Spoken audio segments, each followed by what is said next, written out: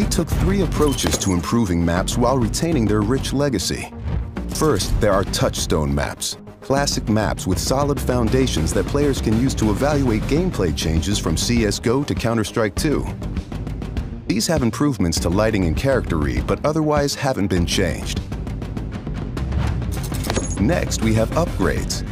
These are maps that use new Source 2 lighting, including a physically based rendering system that produces realistic materials, lighting, and reflections. And finally, overhauls. The oldest maps have been fully rebuilt from the ground up, leveraging all of the Source 2 tools and rendering features. These tools will be available for community map makers to make it easier to build, experiment, and iterate. Upgrades to lighting, player read, and materials in Counter-Strike 2, even the familiar will feel brand new.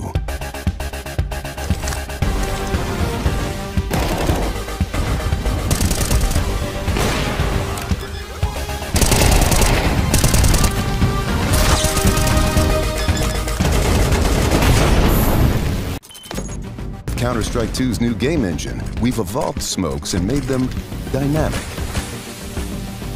Smoke grenades now create volumetric 3D objects that live in the world.